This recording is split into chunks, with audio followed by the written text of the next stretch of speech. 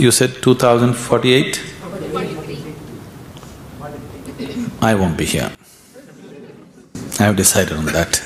अभी मैं सूर्यास्त की जगह नहीं पहुँचा हूँ, मैं बहुत ज़्यादा रंगीला बन जाऊँगा जैसे ऐसे आगे बढ़ता हूँ लेकिन अभी उस दिशा में हम आगे बढ़ रहे हैं, शाम को चार बज गए हैं, अगर मेरे जीवन की बात की जाए, अगर मैं अपनी आँखें बंद करता हूँ तो मैं दुनिया से मुक्त हूँ, हर किसी से मैं बात कर रहा हूँ, केवल आपकी या किसी और की नहीं, हर इंसान हर इंसान, मैं, इसका मतलब है हर इंसान, अगर मैं अपनी आँखें बंद करता हूँ तो वो सब चले गए, वो सब मर चुके हैं। जो कुछ भी मैं कर रहा हूँ, लोगों को खाना खिला रहा हूँ, जो भूखे हैं,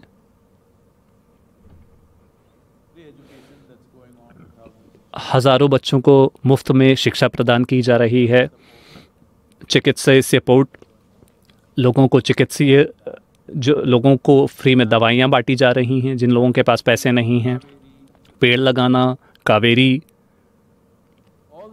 ये सारी चीज़ें मैं कर रहा हूँ, क्योंकि ये उनके लिए बहुत मायने रखता है। इसलिए नहीं, क्योंकि मेरे लिए इसके कोई भी मायने हैं। अगर मैं अपनी आँखें बंद करता हूँ तो मैं दुनिया से मुक्त हूँ, हर किसी से। मैं बात कर रहा हूँ, केवल आपकी या किसी और की नहीं, हर इंसान। हर इंसान, मैं इसका मतलब है हर इंसान, अगर मैं अपनी आँखें बंद करता हूँ तो वो सब चले गए, वो सब मर चुके हैं। लेकिन मैं ये चीज़ें कर रहा हूँ, क्योंकि उनके लिए ये चीज़ें बहुत मायने रखती हैं। उन चीज़ों को पूरा किए बिना, वो अपने जीवन में किसी बड़ी चीज़ की चाहत भी नहीं करेंगे। अभी कोई भूखा है, क्या आप जाकर उनसे आत्मज्ञान की बात करेंगे? वो बहुत क्रूर होगा। तो हम उन्हें खाना खिलाते हैं। इसलिए नहीं, क्योंकि मुझे उन्हें खाना खिलाकर कोई बहुत बड़ी संतुष्टि मिलती है। नहीं, मैं हमेशा से कहता रहा हूँ, मुझे अपने किस, किए किसी भी काम में कोई संतुष्टि नहीं मिलती, यहाँ तक कि आध्यात्मिक कार्य में भी नहीं। जब भी लोग मुझसे पूछते हैं, सदगुरु, आपको तो इतनी तृप्ति मिलती होगी इतने सारे लोगों को देखकर जो आनंद में हैं। मुझे क्या समस्या है? वो आनंद है परमानंद में है, दुखी है, मुझे क्या फ़र्क पड़ता है? मुझे कोई समस्या नहीं है। चूँकि उनके पास समस्या है, मैं आगे जाकर उनकी मदद करता हूँ, क्योंकि मैंने, क्योंकि मैं उन्हें खुद से अलग नहीं देखता, इसलिए मैं आगे बढ़ता हूँ। लेकिन अगर मैं अपनी आँखें बंद करता हूँ तो सब खत्म। मैं दुनिया दुनिया मेरे लिए ख़त्म हो जाती है और हर व्यक्ति और हर चीज़ मेरे लिए ख़त्म हो जाती है। अरे, इतना सारा काम हो रहा है, सदगुरु कह रहे हैं कि लोग आपकी लेगे आप अपने बात किसे तय करेंगे? कोई नहीं। अगर वो उनमें रुचि है तो वो इसे आगे बढ़ाएँगे। अगर रुच, अगर उन्हें लगता है कि महत्वपूर्ण नहीं है तो वो उसे छोड़ देंगे। मैं उन, उनके ऊपर छोड़ता हूँ इसे। अगर उन्होंने इसका मूल्य नहीं देखा है, जो काम हो रहा है, अगर लोगों को उसका कोई मूल्य नहीं दिखता तो वो उसे छोड़ दें, इसे हॉस्पिटल या स्कूल बना दें। क्योंकि ज़्यादातर आध्यात्मिक संस्थानों का यही होता है। मुझे नहीं लगता कि ईशा योग केंद्र में ऐसा हो गया क्योंकि कई सारे लोगों ने इसका मूल्य देखा है। हालाँकि मैं लगातार उन्हें परेशान करता रहता हूँ, उनके काम में बहुत सारी दिक्कतें पैदा करते रहता हूँ, उनके काम को ज़्यादा से ज़्यादा कठिन बनाता रहता हूँ।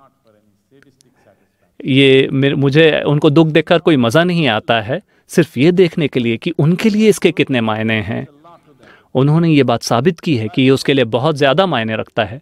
ज़िंदगी हो या मात हो, वो ये काम करेंगे। चाहे मैं हूँ या न चाहे मैं रहूँ या ना रहूँ, वो ये काम करेंगे।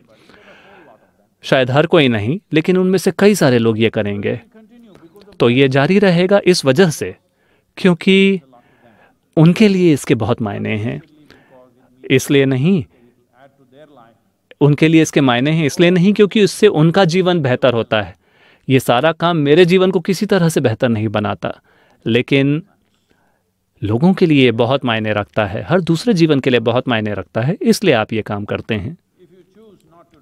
अगर आप ये काम न करना चुनते हैं, कई सारे योगी, शानदार योगी, वो कुछ नहीं करते, वो बस दूर रहते हैं। उन, वैसा रहने में कुछ भी गलत नहीं है। तो रामकृष्ण एक एक प्रोजेक्टाइल जिसे वो शूट कर रहे हैं उसके लिए एक ट्रेजेक्ट्री तय कर रहे हैं। अब इस ट्रेजेक्टाइल के अपने खुद का दिमाग है अपने खुद की भावनाएँ हैं अब ये खतरनाक है। अगर आप एक रॉकेट शूट कर रहे हैं चंद्रमा की ओर या आ, मंगल की ओर अगर वो हवाई की सोचने लगता है तो हवाई जैकेट डिस्ट्रॉय हवाई पूरी तरह से तबाह हो जाएगा। तो ये एक अलग आयाम है। इसे आप अपनी समझ के अनुसार इसे जज न करें। अपनी भावनाओं के अनुसार, अपने मूल्यों के अनुसार। इसीलिए मैंने कहा कि जब आप एक गुरु के संपर्क में आते हैं तो आप या तो अगर आप उन्हें एक प्रेरणा के रूप में इस्तेमाल कर रहे हैं तो ये होता रहेगा, क्योंकि कोई ना कोई आपको यहाँ वहाँ खींचते रहेगा। योग केंद्र में कई सारे जवान लड़के हैं, जो बहुत ही, जो बहुत ही संकल्प के साथ आए, लेकिन लड़कियाँ बहुत सुंदर थीं, उन्होंने शादी कर ली। इसमें कुछ गलत नहीं है, लेकिन मैं कह रहा हूँ इस तरह से, अगर आप आगे बढ़ते रहते हैं तो छोटी मोटी छोटी मोटी ज़रूरतों का ख्याल रखा गया रख लिया गया लेकिन कोई समस्या नहीं। लेकिन आपने अपनी दिशाएँ बदल ली, क्योंकि छोटी छोटी विचार और भावनाएँ आ गई तो बेहतर होगा कि हम आपको सशक्त ना बनाएँ। तो जैसा कि मैंने कहा, अभी मैं सूर्यास्त की जगह नहीं पहुँचा हूँ, मैं बहुत ज़्यादा रंगीला बन जाऊँगा जैसे ऐसे आगे बढ़ता हूँ। लेकिन अभी उस दिशा में हम आगे बढ़ रहे हैं। शाम को चार बज गए हैं। अगर मेरे जीवन की बात की जाए तो गर्मी का मौसम है। सूर्यास्त लगभग आठ पैंतालीस, नौ बजे होता है तो अभी भी काफ़ी घंटे बचे हैं। लेकिन लेकिन जब शाम को चार बज जाते हैं,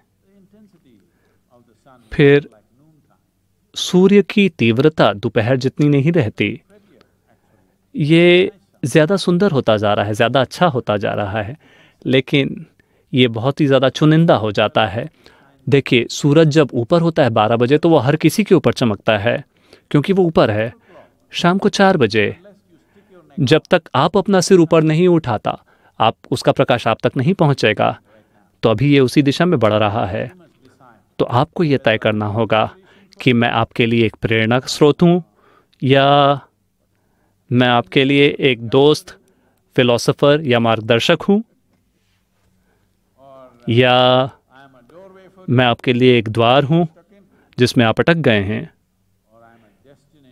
या मैं आपकी मंजिल हूँ, या मैं आपका धर्म बन गया हूँ। ये तय करने का समय आ गया है, क्योंकि ये दोपहर का समय नहीं है, जब सूरज हर किसी के लिए चमक रहा हो। आपको ऊपर, आपको खड़े होना होगा ताकि इसका प्रकाश आप तक पहुँचे।